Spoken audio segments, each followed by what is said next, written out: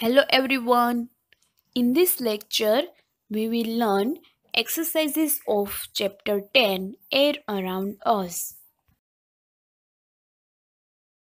So let us start with Let's Remember. First question Which of the following are present in air? Circle the correct words. यहाँ जो नीचे word दिए गए हैं उसमें से क्या एयर में प्रेजेंट होता है, उसको हमें सर्कल करना है। तो फ़र्स्ट है ल्यूस तो वो एयर में प्रेजेंट नहीं होता है। देन स्मोक तो वो एयर में प्रेजेंट होता है तो इसके ऊपर हमें सर्कल करना है। देन पेपर रॉक्स कार ये तीनों चीज़ें एयर में प्रेजेंट नहीं होती है। देन डस्ट वो एयर में प्रेजेंट होती है तो उसमें हमें सर्कल करना है। देन आयरन एयर में प्रेजेंट नहीं होता है। Then water vapour and jumps दोनों एयर में प्रेजेंट होता है तो दोनों में हमें सर्कल करना है। Then second question complete the following blanks हमें कंप्लीट करनी है। First we can can not see air हम एयर को देख सकते हैं या नहीं देख सकते हैं? तो एयर को हम नहीं देख सकते हैं तो हम लिखेंगे can not then smoke is harmful या not harmful for us smoke है वो हमारे लिए हार्मफुल है, नुकसानकारक है या नुकसानकारक नहीं है तो स्मोक हमारे लिए नुकसानकारक है तो आंसर आएगा harmful then third green plants make the air clean या डर्टी आपको पता ही है ग्रीन प्लांट्स ट्री होते हैं, वो एयर को कैसी रखते हैं?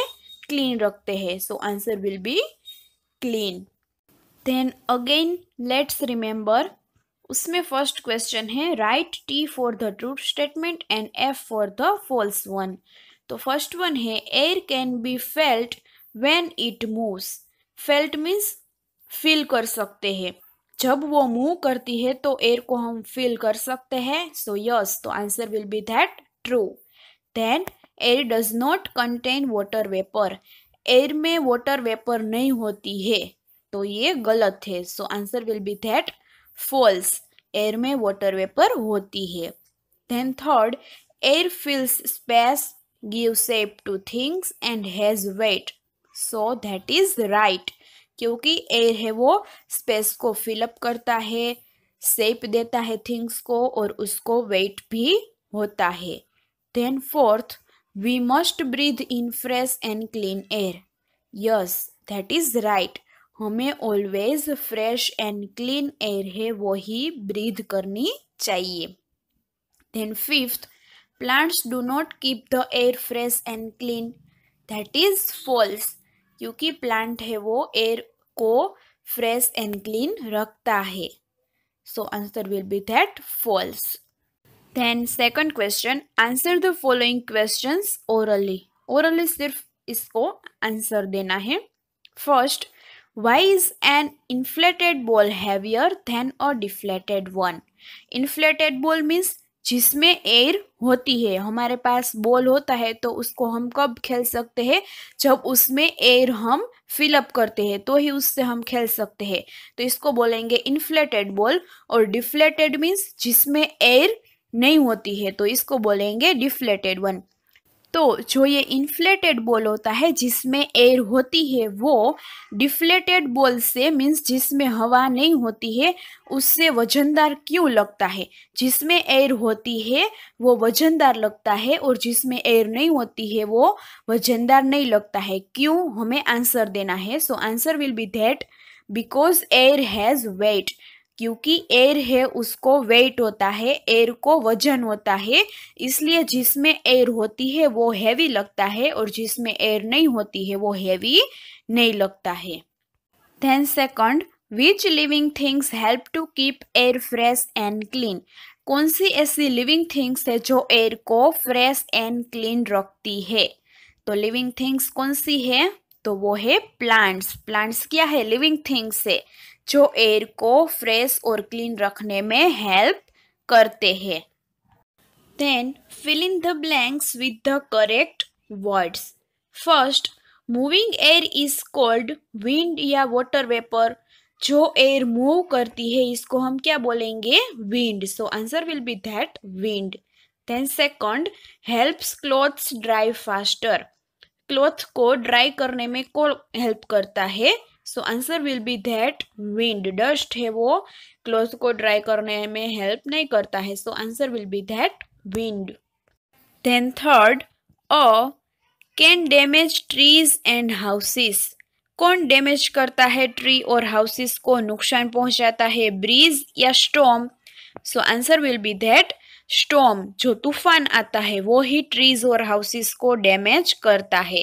Then fourth come out of vehicles and make the air dirty air को डर्टी बनाता है और जो व्हीकल्स में से बाहर आता है, वो क्या होता है? स्मोक या germs so answer will be that smoke then enter the air when someone sneeze sneeze means जब कोई छींकता है, तब एयर में क्या आता है? डस्ट या germs so answer will be that germs जब कोई स्नीज करता है, तब जम्स एयर में एंटर होता है. Then write T for the true statement and F for the false one first air does not contain water vapour air में water vapour नहीं होती है so that is false then second a gentle wind is called a storm so that is also false a gentle wind होता है, इसको हम storm नहीं बोलते, क्या बोलते? ब्रीज बोलते. Then third wind can turn the blades of a windmill so that is true wind है वो ही विंड मिल की जो ब्लेड होती है उसको टर्न कर सकता है। Then fourth, wind is always harmful for us. So that is false. Wind है वो हमारे लिए हार्मफुल नहीं है नुकसानकारक नहीं है। वो हमारे लिए हेल्पफुल है। Then fifth clean air makes us ill so that is also false. Clean air होती है वो हमें इल मीन्स बीमार नहीं बनाते वो हमें हेल्दी रखते हैं। Then next choose the correct option first which of this does not need wind to move नीचे जो ऑप्शन दिया गया है इसमें से किसको विंड की ज़रूरत नहीं है मूव करने के लिए? सो so, लीव्स तो इसको तो ज़रूरत है विंड की मूव करने के लिए। देन वेल तो इसको विंड की ज़रूरत नहीं है मूव करने के लिए so answer will be that well इसके बाद सेल बोट एंड काइट है, वो दोनों को भी विंड की ज़रूरत पड़ती है. So answer will be that B option well जिसको विंड की ज़रूरत नहीं पड़ती है. Then second which of this is not found in air नीचे जो ऑप्शन दिया गया है, उसमें से एयर में कौन नहीं देखने को मिलता है? So A option water vapour B dust C plants and D germs तो water vapour dust and germs ये तीनों एयर में प्रेजेंट होता है। प्लांट है वो एयर में प्रेजेंट नहीं होता है। So answer will be that C option plants then third what helps to dry clothes clothes को ड्राई करने के लिए कौन हेल्प करता है? Wind water vapour in the air dust in the air या smoke in the air. So, dry करने के लिए विंड हेल्प करता है। So, answer will be that A option wind. Then fourth, which of this does not give out smoke? यहाँ जो option दिया गया है, उसमें से स्मोक कौन नहीं फेंकता है? बुलोक कार्ट फैक्ट्रीज, कार, बस सो फैक्ट्री में से भी स्मोक आउट होता है कार में से भी होता है और बस में से भी होता है। बुलोक कार्ट में नहीं होता है। So answer will be that A option bullock cart जो स्मोक नहीं फेंकता है। Then fifth which of this helps to keep the air clean air को क्लीन रखने में कौन हेल्प करता है? जम्स स्मोक डस्ट या प्लांट्स तो आपको पता ही है कौन एयर को क्लीन रखता है? Plants so answer will be that D option plants then six which of this is not a property of air air की प्रॉपर्टी नहीं है मीन्स एयर के गुण नहीं है। कौन से नहीं है? एयर हैज़ वेट तो वो उसकी प्रॉपर्टी है। Air gives shape to things तो वो भी उसकी प्रॉपर्टी है। देन एयर फिल्स स्पेस वो भी उसकी प्रॉपर्टी है। Then air can be seen air को हम देख सकते हैं? नहीं तो ये एयर की प्रॉपर्टी नहीं है। So answer will be that D option air can be seen then give two examples of the following first things that are moved by air ऐसी कौन सी थिंग्स है जो एयर की वजह से मूव कर सकती है So answer will be that boat, sail and kite. Then second, things that air gives shape to. ऐसी थिंग्स जिसको एयर शेप देती है तो वो है balloon and football then third things that make the air dirty air को dirty कौन बनाता है? तो वो है dust smoke and also germs then short answer question first what is wind wind हम किसको बोलेंगे? So answer will be that moving air is called wind जो एयर मूव करती है, इसको हम बोलेंगे wind then second why should we plant more trees हमें ज़्यादा ट्री क्यों ग्रो करने चाहिए? क्योंकि because plants keep the air fresh and clean plant है वो एयर को फ्रेश एंड क्लीन रखता है, इसलिए हमें ज़्यादा ट्री ग्रो करने चाहिए। Then third name four things that air contains air में कौन सी चीज़ शामिल होती है? तो answer will be that gases dust smoke germs water vapour ये सारी चीज़ें हैं वो एयर में शामिल होती है। Then long answer questions first give two uses of wind wind हमें किसमें हेल्प करता है? उसके यूजेस लिखने हैं। तो first wind turns the blade of a windmill पवन चक्की होती है, उसकी जो ब्लेड होती है, पंख होते हैं, उसको घुमाने में हेल्प करता है। Then wind helps a boat sail boat को आगे चलाने में विंड हेल्प करता है। Then third wind helps a kite fly kite को फ्लाई करने में, उड़ाने में हेल्प करता है। Then second what are the three properties of air property means गुण। एयर के कौन कौन से गुण है? तो वो हमें लिखने हैं। तो first air fills space air है वो स्पेस को फिलअप करता है। Then air gives shape to things air है वो कोई भी थिंग्स होती है, उसको शेप देता है। हम फुटबॉल होते हैं, उसमें एयर फिलअप करते तो उसको वो शेप देता है।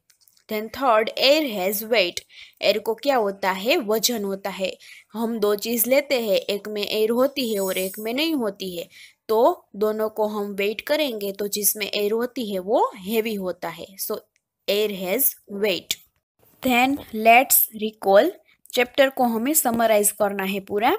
तो फ़र्स्ट दिया गया है एयर तो एयर के नीचे हम देखेंगे तो एयर कंटेन्स मीन्स एयर में क्या क्या शामिल होता है? तो फ़र्स्ट है वाटर वेपर तो उसका हमें स्पेलिंग लिखना है W A T E R V A P O U R then dust होती है तो D U S T then smoke होता है तो एस एम ओ के ई देन जम्स होते हैं तो G E R M S ये सारी चीज़ें हैं, वो एयर में शामिल होती है। देन उसके बाजू में प्रॉपर्टीज़ है एयर की प्रॉपर्टी हमें लिखनी है। तो फ़र्स्ट फिल्स स्पेस क्या करता है? स्पेस को फिल करता है। Then gives two things things को क्या देता है? शेप देता है। देन हैज़ वेट उसको क्या होता है? वेट होता है। तो ये तीनों चीज़ें हमें ब्लैंक्स फिलअप करनी है। देन एयर के बाजू में है मूविंग एयर तो मूविंग एयर को हम क्या बोलेंगे?